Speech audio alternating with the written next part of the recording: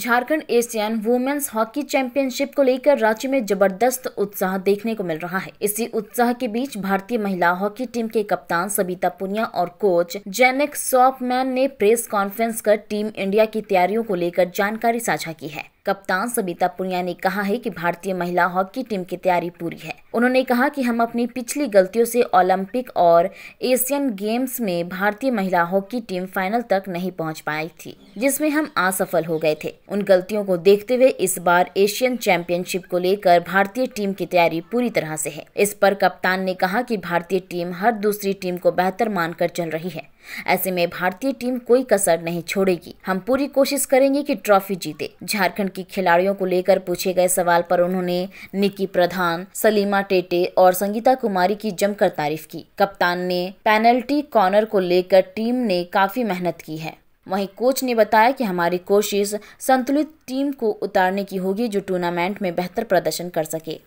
हम इंडिया में काफ़ी टाइम के बाद एक बड़ा टूर्नामेंट खेलने जा रहे हैं तो ये हम सब के लिए बहुत बड़ी बात है और होपफुली हम अपनी गेम से आप सबको इम्प्रेस करेंगे।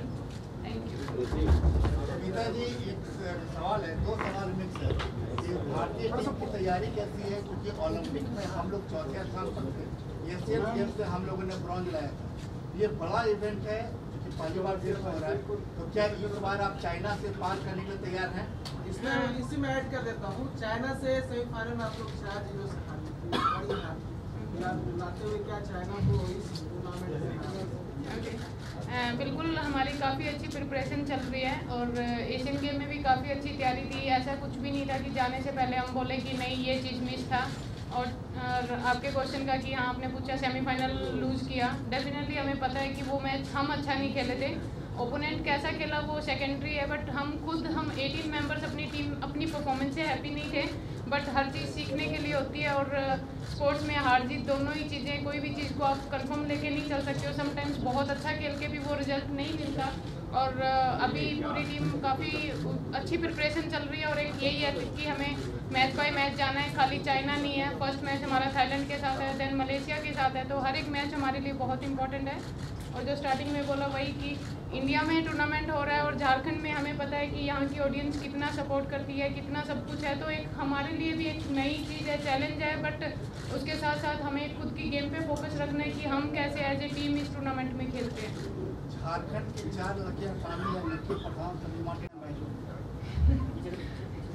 हम हमेशा ये सोच के चलते हैं कि 18 प्लेयर्स टीम में हैं तो वो इंडियन टीम है और जब मैं एयरपोर्ट पे भी आई थी तो सबसे पहले यही क्वेश्चन पूछा गया था कि झारखंड से कितने प्लेयर हैं तो वो तो आप सबको ज़्यादा पता होना चाहिए हमारे लिए। सब प्लेयर बहुत इंपॉर्टेंट है पर्टिकुलर ये नहीं है कि सिर्फ़ अगर आप चार प्लेयर का नाम ले रहे हो तो वही ज़रूरी है बट हाँ नहीं कि अपने आप में एक बहुत बेस्ट डिफेंडर है, संगीता है, अच्छी प्लेयर है देन सलीमा है, अच्छी है ब्यूटी है, हमें आज वो इस टूर्नामेंट में नहीं खेल रही है बट बहुत अच्छी प्लेयर है बट उसका नी इंजरी की वजह से थोड़ा टाइम बीच में नहीं खेल पाई।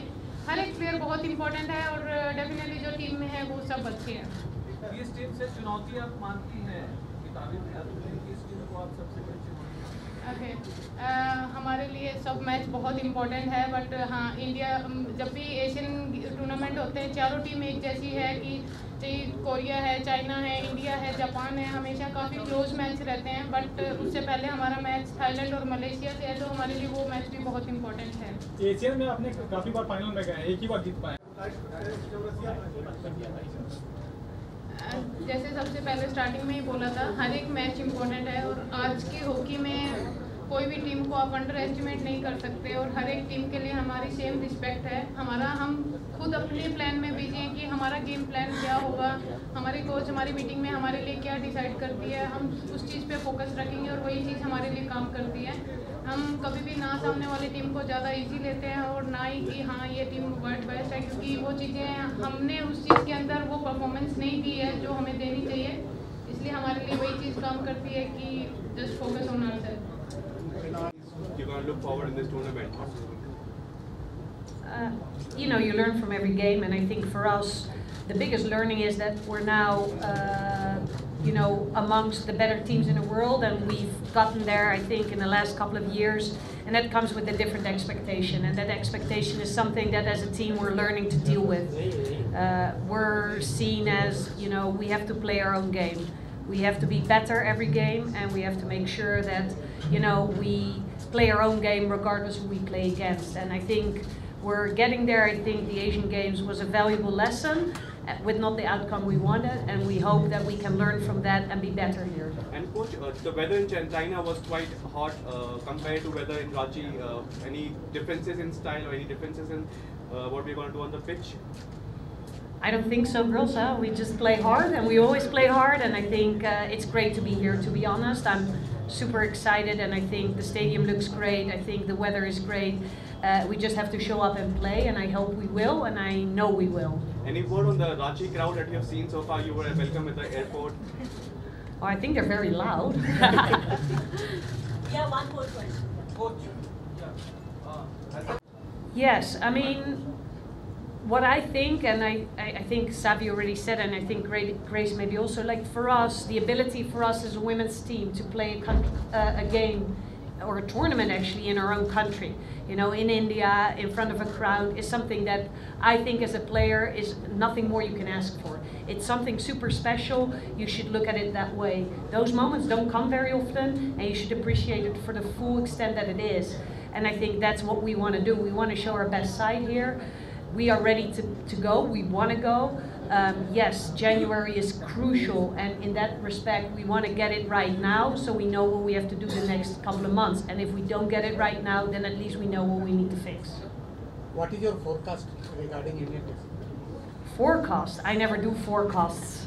Um, but what I will say this, I expect them to work their ass off, literally. You know, I want to see a team that fights, fights, fights, never gives up, that shows the crowd what they came to see, and that is a pl- team that plays with heart, a team that plays together, a team that shows how well we can play hockey. so has the team kind of come out of it? Well, I think so. I think, you know, when you train so hard and so long for that one game and you don't perform because we didn't perform, and I think we all agreed on that. As a coach, I was disappointed. I think the girls were very disappointed with that as well. Um, then the only thing you can do is pick yourself up, and I think we did that there, um, which resulted in the bronze medal. Then we were back in Bangalore and we had a lot of meetings. We had a lot of good training sessions as well, and you can't fix things from one day to the other but I do know that we're all trying to be better. I think I got the commitment from all 34 players. We want to be better. Uh, do we come out of it? I think we've learned from it, and I think we're ready to play again, and we're excited to play again, and I think that's the most important thing. Uh, Coach, uh, this tournament happening after Asian Games otherwise would have been like you know kind of